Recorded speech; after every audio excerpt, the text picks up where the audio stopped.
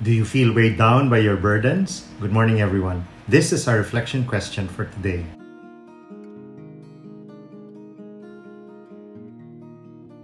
Shortly after coming to Christ, Sadhu Sundar, a Hindu convert to Christ, felt called to become a missionary to India.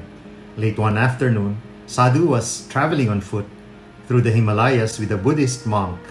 It was bitterly cold and the wind felt like sharp blades slicing into Sadhu's skins. Night was approaching fast when the monk warned Sadhu that they were in danger of freezing to death if they did not reach the monastery before darkness fell. Just as they were traversing a narrow path above a steep cliff, they heard a cry for help. Down the cliff lay a man, fallen and badly hurt. The monk looked at Sadhu and said, Do not stop. God has brought this man to his fate. He must work it out for himself. Then he quickly added, while walking on, Let us hurry on before we too perish. But Sadhu replied, God has sent me here to help my brother. I cannot abandon him. The monk continued trudging off through the whirling snow while the missionary clambered down the steep embankment. The man's leg was broken and he could not walk, so Sadhu took his blanket and made a sling of it and tied the man on his back. Then, bending under his burden, he began a body torturing climb. By the time he reached the narrow path again, he was drenched in perspiration. Doggedly, he made his way through the deepening snow and darkness. It was all he could do to follow the path. But he persevered, though faint with fatigue and overheated from exertion. Finally, he saw ahead the lights of the monastery. Then, for the first time, Sadhu stumbled and nearly fell but not from weakness. He had stumbled over an object lying in the snow covered road. Slowly he bent down on one knee and brushed the snow off the object. It was the body of the monk, frozen to death. Years later, a disciple of Sadhu's asked him, What is life's most difficult task? Without hesitation, Sadhu replied, To have no burden to carry.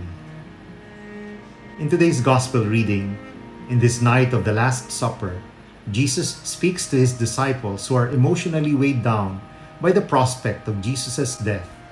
They are troubled, confused, and afraid. Jesus, on the other hand, is not afraid. He is at peace and offers this to his disciples.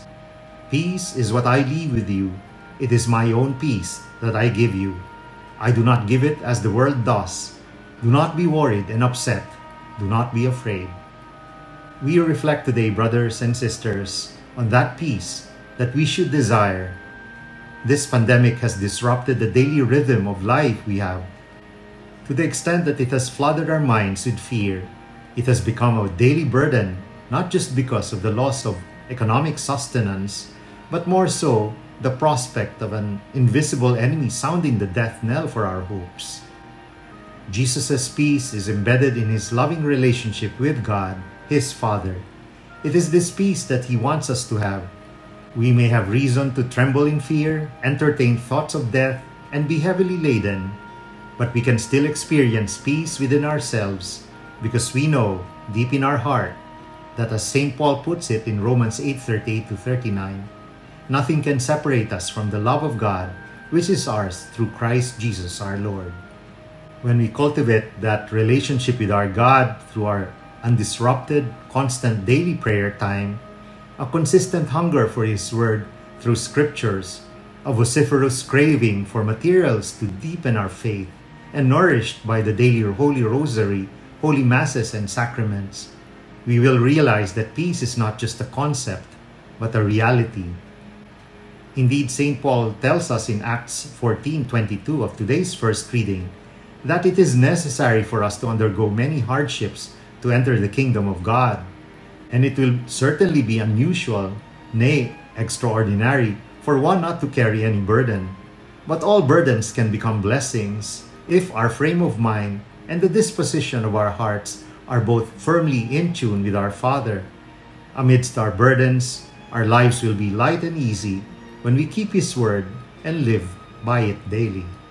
Let us pray. In the name of the Father, the Son, and the Holy Spirit. Amen. Heavenly Father, I want to experience the peace and joy that only you can give. Help me to attain it. through my faithfulness to your word. This I pray in Jesus' holy and mighty name. Amen. In the name of the Father, the Son, of the Holy Spirit. Amen. God bless your families, brothers and sisters. God bless our Catholic faith and couples for Christ.